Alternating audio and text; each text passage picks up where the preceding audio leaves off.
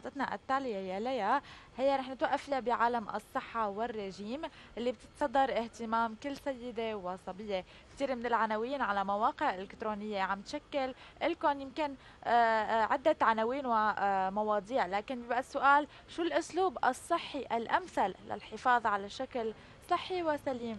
شو هي ابرز الخطوات للحفاظ على صحتنا؟ مع دخولنا بفصل الخريف والابتعاد عن الأنشطة البدنية وعن الرياضة رح أكيد نجاوب عليها وندخل بتفاصيلها لليوم مع أخصائية التغذية إيفانا اليوسف. صباح الخير إيفانا. صباح النور. صباحك. صباحكم. وسهلا. يا أهلا فيكم. يسعد صباحك. صباحك. يعني عم نحكي على موضوع بهم كل صبية وسيدة وخاصة مع وجود مواقع التواصل الاجتماعي والمواقع الإلكترونية. تمام. كثير من الوصفات والعناوين الجذابة اللي عم يقروها الصبايا. قد إيه مدى صحتها وشو هو هو الرجيم الصحي يعني اللي بتنصحي فيه؟ هلأ ثلاث أرباعها حاليا غلط كلها ما في شيء صحيح. آه كلها بتكون خاطئة ما في دراسة للمصادر الغذائية ما في دراسة لتعداد الوجبات. أوكي أول فترة بننحف بعدين بنلاقي حالنا أنه لما بنرجع نحن ناكل رح نكون في عنا جوع للأكل اللي نحن حرمنا حالنا فيه. آه، ناهيك إنه نحن بيكون عندنا مشكلة بقى صحية لأنه في مصادر غذائية معنا موجودة انحرمنا منها. آه، ممكن يصير معنا فقر دم ممكن يصير يأثر على السكري ضغط ممكن أحيانا ارتفاع كوليسترول يتغير عندنا ريحة البول. يصير عندنا إجهاد للكلية إجهاد للكبد هاي كلها بسبب الأونلاين اللي بناخذها بنفكر إنه حدا حاططها بيكون أي حدا على باله يحط شيء أكيد مو أخصائيين تغذية اللي حاطينها. فهي آه، فاشلة كثير ما بنصح أي حدا يقروها بس ما ابدا ما ينفذوها لأنه كلها خاطئة. هلأ النظام الغذائي الصحيح هو كثير سهل. لما تقولي انت دايت أو نظام غذائي ما لازم الشخص أصلا يفزع منه أو يخاف أو يقول مثلا هلأ انحرمنا من الأكل. هو عبارة عن خمس وجبات الفطور والغداء والعشاء وجبتين خفيفات بيناتهم. يعني هو مبدأه بس قلل الكمية آه، خفف الدسم والشحوم اللي عم تستخدمها خفف كمية النشويات وبال... يعني أسهل لهم إنه هن ما يعملوا شيء لحالهم إذا ما بيقدروا يعملوا تحكم أو كنترول في شيء اسمه أخصائي تغذية بيساعدهم بهذا الشيء نعم إيفانا يمكن آه، مع بس خلص فصل الصيف آه، خلصنا من الفواكه الطازجة والخضرة وهلأ رح نروح على الشتوية اللي أنا ما بحبها. رح يتغير أكيد نظام غذائنا. كيف فينا نعوض آه، هال هالفواكه وهالخضرة؟ و... واصلا بالصيف بتتحركي أكثر من ال- الشتوية. بهذا الموسم يلي بالخريف يلي هو بين بين ما بين بين. بدك تعوضي شوي مشان ما تيجي فجأة عليك الشتوية. تمام. مثل ما قلتي حضرتك صار في هلأ آه، آه، فصلين اختلافين بصير بقل كميه المي اللي بنشربها. فواكه بدنا نقلنا اكلها إنه ما عاد فيها التنوع بهالفصل آه، ممكن الخضار تعوض شوي لأنه هلأ بتنزل لك مثلا موجود الخس موجود الخيار البندورة موجودة هي فيها مي كميات كبيرة. آه، البرتقان مثلا ممكن نعمله كعصائر ممكن آه، ناكلهم نصير أكل. يعني هون نحن بدنا نتحكم بحالنا بدنا نعرف إنه كل يوم نشرب سبعة ثمان كاسات سواء بالمي أو ممكن مثلا زهورات قصص نبتعد عن الكافيين. الابتعاد عن الكافيين لأنه الكافيين بيؤدي لاضرار بول بيؤدي لجفاف. يعني بهالحالة شوي شوي نحن بدنا نعود حالنا إنه في عنا شيء هلأ ستيبس لازم نعملها لأنه ما عاد بقى نحن بالصيفية. صحيح. إيفانا يمكن في عادات صحية وعادات غير صحية شائعة بين الناس.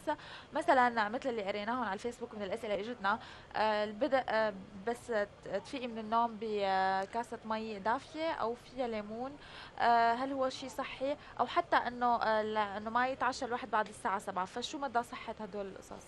هلا اول وحدة الصحيحه ليش؟ كأنه هي أول شيء بتنظف لك الأمعاء والمعده إذا عندنا اكتام إذا عندنا مساك إيه مثلا في عندك جهاز المناعة كمان بتقويه لأنه في الليمون. فنحن فايتين على شتاء هلأ القريب وهالقصص. مناعة. بتعطيكي بتقويكي فبتعطيكي نشاط. هو مثل مبدا الديتوكس صراحة. آه، بس الديتوكس فيه شغلات زيادة. آه، فهي صحيحة ما سيئه ابدا وكثير منيحة.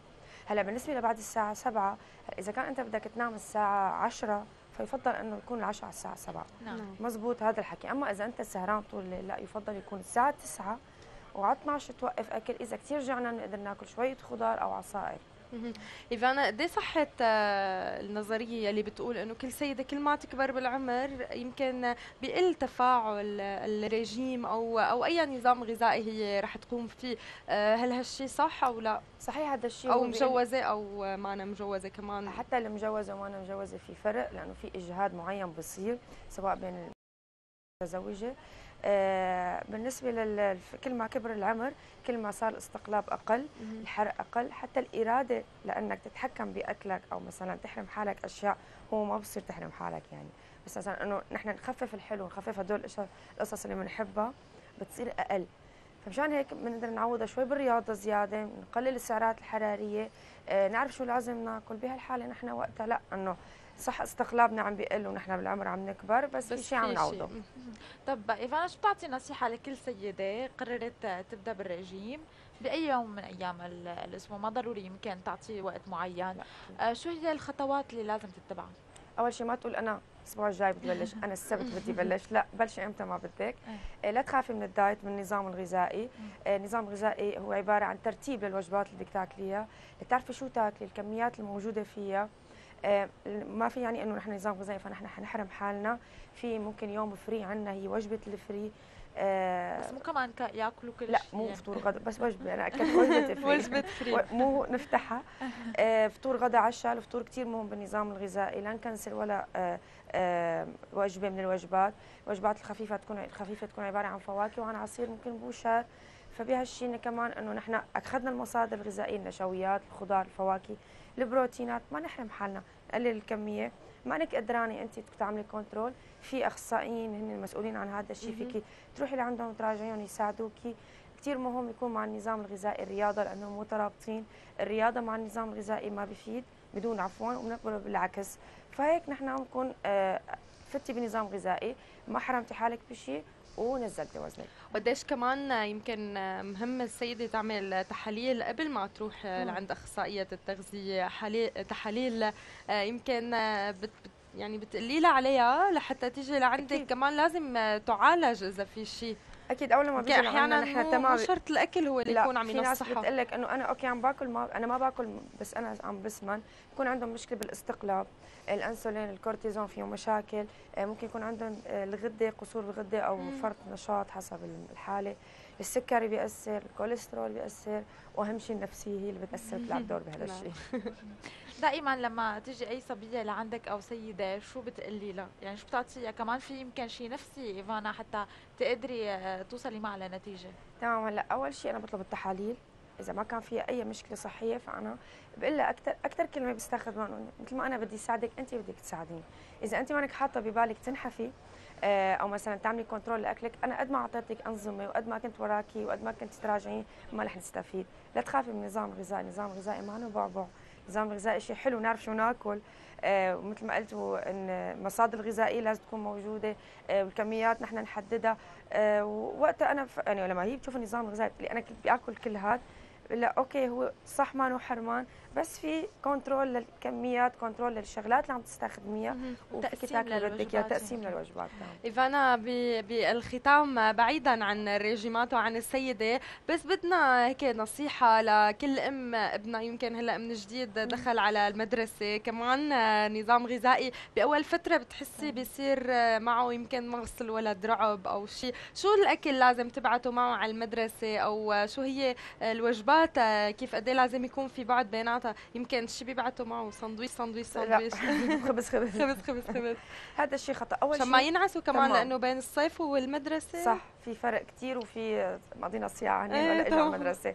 هلا كثير مهم إذا ما بدها تفطروا هي قبل المدرسة أو ما عنده وقت بفيق دغري انها تشربوا كاسه الحليب على القليلة آه، تعملي شوية خضار أو فواكه تبعت معه مثلا شيء حلو مثل تعملي سندويشه حلاوة كثير مهم إنه يكون في حلو عشان التركيز عشان السكر. عشان الطاقة. لما بيكون هو نايم فحرق السكر كله عشان يقدر يأخذ الطاقة مربى مثلا ممكن مثلا سندويشه الزعتر اللبنه الجبنه هذا شيء خفيف. مو مكدوس هلا موسم مكدوس لوت حاله وقصص. لا مثلا في ناس تعمل بيض مسلوق إيه على المدرسة. لا كثير ثقيل البيض مسلوق يفضل إنك تطعميها وبعدين لما هو مثلا على الفرصة الأولى إذا أنت قدرتي تفطري ياخذ هالسندويشة.